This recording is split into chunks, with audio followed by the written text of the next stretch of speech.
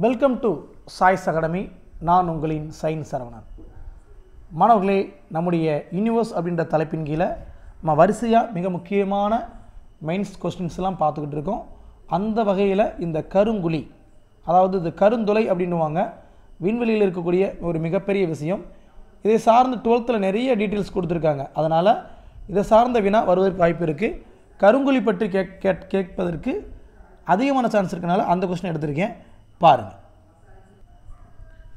Okay கருந்துளைனா என்ன அப்படின்னு பார்த்தீங்கன்னா வலுவான ஈர்ப்பு சக்தியை கொண்ட ஒளி அதாவது வலுவான ஈர்ப்பு சக்தி கொண்ட ஒளி மின்பா மின்காந்த அலைகள் கூட தப்பி வெளியேற முடியாத ஒரு அண்டை வெளி தான் கருங்குழி. அதாவது அதனுடைய ஈர்ப்பு சக்தியிலிருந்து லைட்டு எலக்ட்ரோ மேக்னட் வேவ்ஸ் இது கூட தப்பிக்க முடியாது அப்படின்றாங்க. தப்பிக்க முடியாதுன்னு என்ன சார் அப்படின்னா அப்சர்வ் பண்ணிடும் தன்னுள் ஈர்த்து தன்னோட என்னது? விழுங்கிரும். சுருக்கமாக சொல்லப்போனால் என்ன ஆயிரும் சுவாலோ. முழுங்கிரும் அப்படின்றாங்க. இது எவ்வளோ பெரிய விஷயம்? அதுக்குள்ளே என்ன தான் சார் நடக்குது அப்படின்னா நல்லா கவனிங்க. இதனுள் நடப்பதை எதையும் காண இயலாது. Nothing can be seen inside it அப்போ என்னோட அடர்த்தி என்ன சார் அப்படின்னா இட் ஹாஸ் இன்ஃபினிட்டி டென்சிட்டி முடிவெல்லாம் அடர்த்தி. இந்த அடர்த்தி என்னன்னு தெரியல.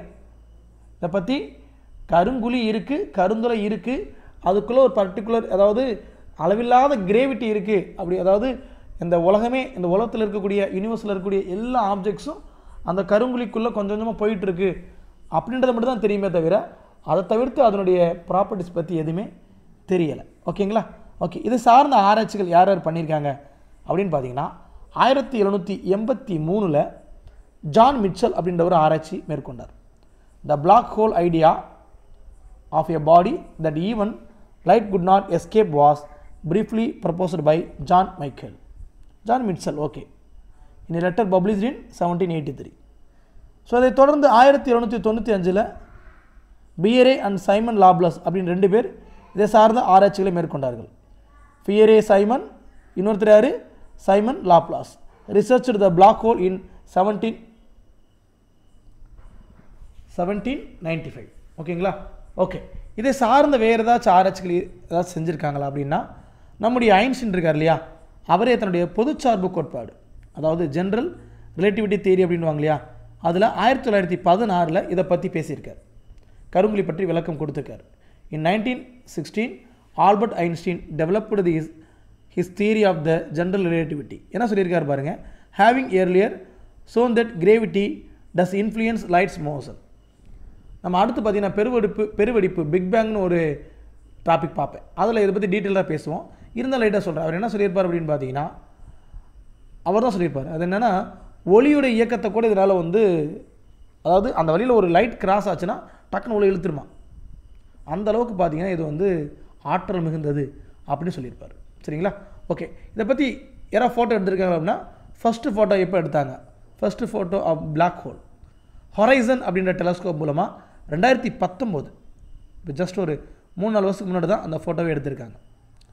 In two thousand nineteen the first black hole image was taken by horizon telescope இந்த ஹொரைசன் அப்படின்ற டெலஸ்கோப் மூலமாக தான் மொத மொத அதை ஃபோட்டோ எடுத்திருக்காங்க. ஓகே இதை சார்ந்து ஆராய்ச்சி செய்ததற்காக சிலருக்கு நோபல் பரிசு வழங்கப்பட்டுள்ளது.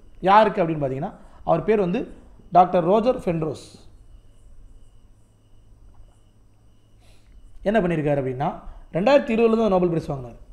கருந்துளைகள் எவ்வாறு உருவாகின்றன அப்படின்னு ஆராய்ச்சி மேற்கொண்டதுக்காக இவருக்கு வழங்கப்பட்டது. இவர் எந்த நாட்டை சேர்ந்தவர் அப்படின்னு பார்த்தீங்கன்னா பிரிட்டன் அப்படின்ற நாட்டை சேர்ந்தவர். Doctor Penrose was awarded half of the Nobel prize இதில் வந்து இவருக்கு நோபல் பிரைஸை ரெண்டாக பிரித்து ஒரு பாதி இவர் ஒருத்தருக்கு மட்டும். Half of the Nobel prize for proving that black hole must exist if Albert Einstein's theory of gravity known as general relativity அதாவது இந்த ஜென்ரல் ரிலேட்டிவிட்டி அதை பேஸ் பண்ணி இவர் அதை சார்ந்து ஆராய்ச்சி பண்ணதுனால இவருக்கு ரெண்டாயிரத்தி இருபதில் நோபல் பரிசு கொடுத்தாங்க. அதான் சரி பாதி. அப்போ மீதி பாதி யார் சார் கொடுத்தாங்க அப்படின்னு பார்த்தீங்கன்னா மீதி பாதி நம்முடைய பால்வழி மண்டலத்தில் தனுசு ஏ அப்படின்ற ஒரு விண்மீன் மண்டலம் இருக்குது அதில் அதில் ஒரு கண்ணுக்கே புலப்படாத ஒரு பருப்பொருளை கண்டுபிடிச்சதுக்காக ரெய்னாட் ஹென்சல் ஆண்ட்ரியா கீஸ் அப்படின்ற ரெண்டு பேருக்கு அந்த மீதி பாதி தொகை வழங்கப்பட்டது. அவங்க என்ன கண்டுபிடிச்சாங்க? நல்லா கவனிங்க. தனுசு ஏ அதில் பால்வழி மண்டலத்தின் உள்ளே அதிக நிறை கொண்ட புலனாகாத பருப்பொருளை கண்டுபிடித்தார்கள்.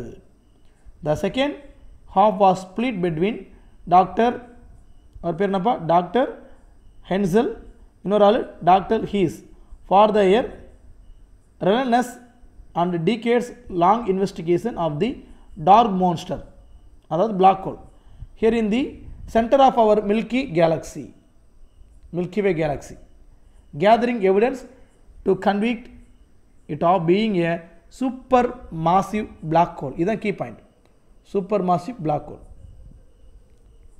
so இதனால தான் சரி பாதியாக பிரித்து இந்த ரெண்டு பேருக்கு பாதி அவர் ஒருத்தருக்கு மட்டும் மேலே ஒருத்தர் பார்த்தோம் இல்லையா டாக்டர் பென்ரோஸ் அவர் ஒருத்தருக்கு மட்டும் தனியாக நோபல் பரிசை கொடுத்தாங்க சரிங்களா போதும் இவ்வளோ விஷயங்கள் நீங்கள் எழுதினாலே போதும் நம்ம வந்து பிளாக் ஹோல் பற்றி இவ்வளோ விஷயங்கள் எழுதினாலே முழு மதிப்பெண்கள் எடுக்க முடியும். சரிங்களா? இந்த மாதிரி ஒரு நல்ல வினாவோட அடுத்த வீடியோவில் மீட் பண்ணுறேன் தேங்க்யூப்பா